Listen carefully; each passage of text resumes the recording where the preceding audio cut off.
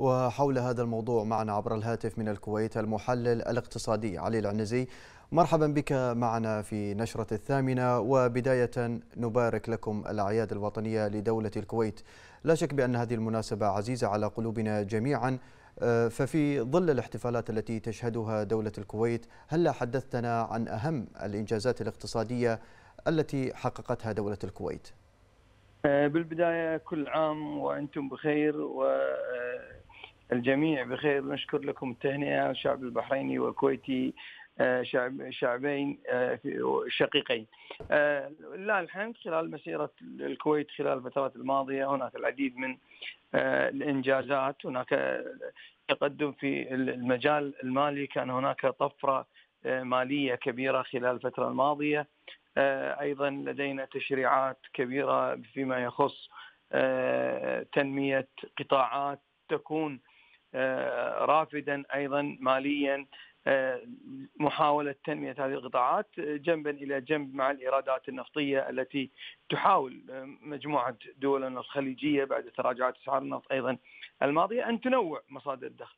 فكانت هناك في الكويت أيضا إنشاء صندوق المشاريع الصغيرة والمتوسطة لدعم المبادرين الصغار، هناك لدينا أيضا قطاع أو هيئة جديدة هي هيئة الشراكة بين القطاعين العام والخاص ونتج عن هذه أيضا الشراكة مجموعة مشاريع قام بتنفيذها القطاع الخاص وكانت في السابق تنفذ من قبل من قبل القطاع العام. أيضا لدينا أيضا استحدث هيئة الاستثمار المباشر بالتالي أصبح للمستثمر أصبح للمستثمر أيضا الأجنبي جهة خاصة هي من يقوم بمساعدته في دائما في عمل أو الدخول في المجالات الجديدة، حقيقة مجموعة كبيرة إصلاحات سوق المال الأخيرة أيضا.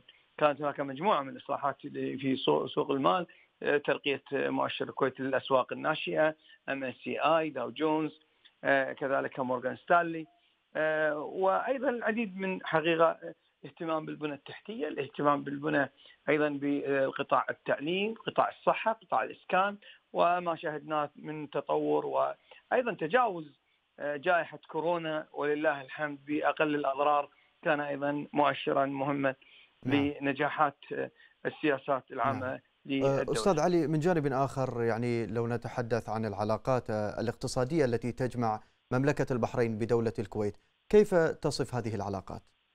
لا شك أن علاقات علاقاتنا بمملكة البحرين علاقات مميزة وعلاقات متينة، علاقات تبدأ من روابط أخوة وصداقة ودم وشعبين قريبين جدا من بعضهم البعض.